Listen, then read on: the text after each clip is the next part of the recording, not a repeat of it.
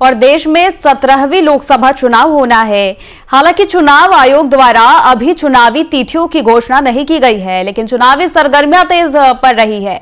तो बस्ती जनपद में अभी तक केवल समाजवादी पार्टी ने ही अपने प्रत्याशी घोषित किया है। शेष अन्य किसी राजनीतिक दलों ने प्रत्याशियों को, की घोषणा नहीं की है। तो बता दें कि बस्ती जनपद में टीम रफ्तार मीडिया ने अपने खास कार्यक्रम अपना एमपी कैसा हो के तहत लोगों की प्रतिक्रिया ली। तो पेश है ये खास रिपोर्ट। कल जी बैठिए हमारा एमपी ऐसा हो कि सरकारी नौकरी कर्मचारी जो पुरानी पेंशन को लेके मांग कर रहे हैं वो मांग को पूरा कर, कराना चाहिए।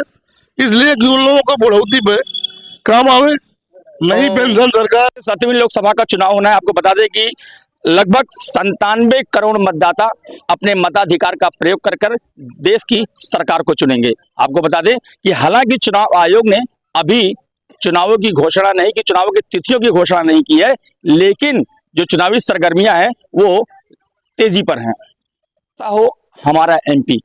इस खास कार्यक्रम के तहत टीम रफ्तार मीडिया आज उत्तर प्रदेश के बस्ती जनपद में पहुँच चुकी है।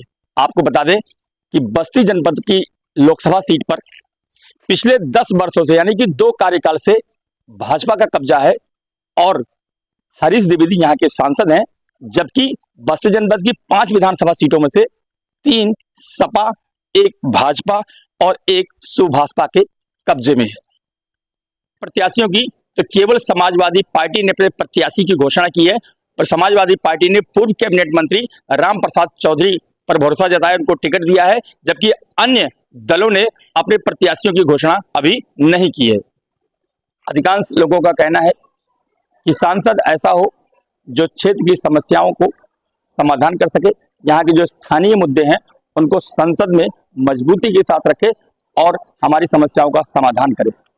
सांसद ऐसा हो जो क्षेत्र में रोज़गार को वृद्धि कर सके, सांसद ऐसा हो जो किसानों की समस्याओं को हल कर सके, और इनका यह भी कहना है कि सरकार को जो है वही कर्मचारियों का कहना है कि सरकार को ओपीएस को भी ध्यान में रखना चाहिए और एनपीएस की जगह ओपीएस को देना चाहिए। इनका यह भी कहना है कि सांसद जो है, वो आसानी के साथ हमारे सुख दुख में हमारे साथ होने का एहसास हो।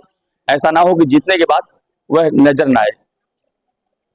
आज के लिए यहीं तक।